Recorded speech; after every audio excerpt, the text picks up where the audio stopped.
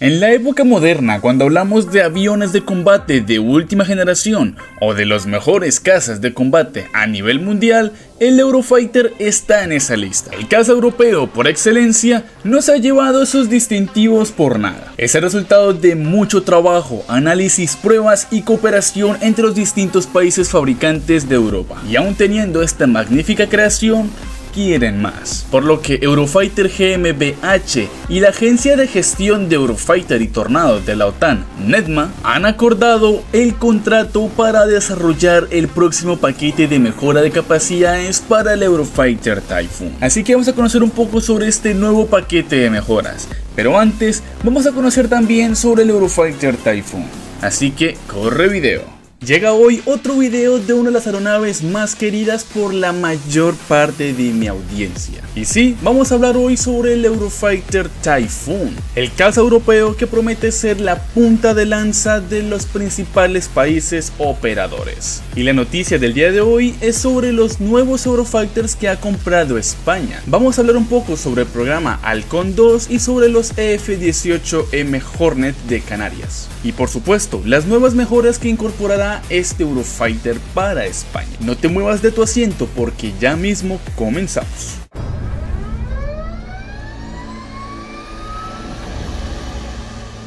Sé que sobre el Eurofighter ya hemos hablado incontables veces, pero me parece oportuno una vez más. Y quién sabe, tal vez no conozcas sobre esta aeronave, así que yo te cuento un poco sobre ella. El Eurofighter Typhoon es un caza polivalente bimotor de gran maniobrabilidad, diseñado y construido por el consorcio de empresas europeas Eurofighter GmbH. El Eurofighter realizó su primer vuelo el 27 de marzo de 1994, entrando en servicio el 8 de abril del 2003 con Alemania. El Typhoon se diseñó potenciando la agilidad, capacidades furtivas y la inclusión de sistemas de aviación avanzados, convirtiéndolo en la fecha de lanzamiento en uno de los mejores cazas en servicio. Y como ya algunos sabrán, este diseño de la Delta y Canards es por naturaleza inestable. Y realmente así fue que se diseñó el Eurofighter, para que fuera inestable en vuelo, ya que este diseño le proporciona una gran maniobrabilidad, pero para solventar el problema de la inestabilidad se recurre a un sistema de control de vuelo cuádruple redundante fly-by-wire. Este sistema le ayuda al piloto a tener un mejor control sobre su aeronave, logrando que 1. el piloto tenga total control sobre su avión y 2. que el Eurofighter sea uno de los cazas más ágiles jamás diseñados, siendo perfectamente capaz de vencer al caza norteamericano F-22 Raptor en maniobras de combate aéreo cerrado. Por otro lado tenemos sus motores y su perfecta aerodinámica y ni hablar de su relación empuje-peso, ya que gracias a esta última el Eurofighter puede volar en régimen de supercrucero,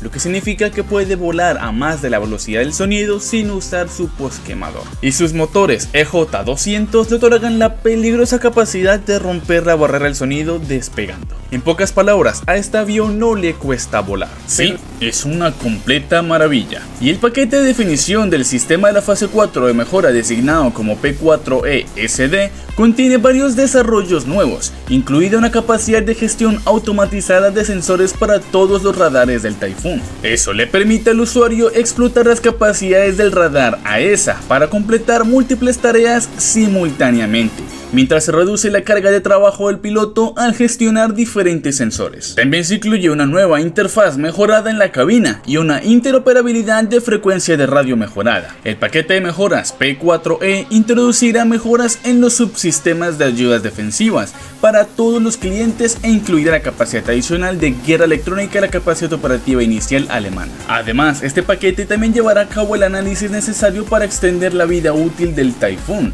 asegurando que el avión esté disponible durante décadas. Y esto lo confirmó el director ejecutivo de Eurofighter, Giancarlo Mesanato. El Typhoon, la columna vertebral de la defensa aérea europea, protegerá nuestros hilos hasta la década del 2060 por lo que es vital que continuemos mejorando las capacidades de la plataforma y asegurándonos de que sea operacionalmente efectiva.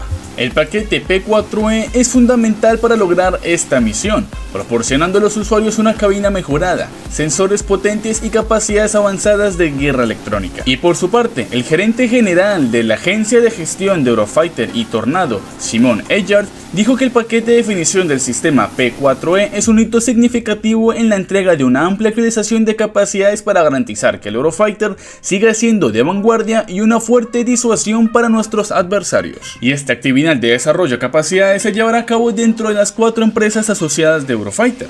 BAE Systems, Airbus Alemania, Airbus España y Leonardo, por lo que no tardaremos mucho en ver los nuevos y mejorados Eurofighter. Gracias por ver este video, espero lo hayas disfrutado. No olvides suscribirte a mi canal si aún no lo has hecho, darle like a este video y compartirlo con tus amigos. Eso me ayudaría muchísimo. Recuerda que puedes apoyar mi contenido con Super Chat, Super Thanks y Super Stickers. Yo estaré muy agradecido con tu donación. También puedes seguirme en Instagram como arroba juanmoreno.jdm. Subo mucho contenido interesante por allí. Y por último, no olvides que en Big One Aeronautics vamos más allá del cielo.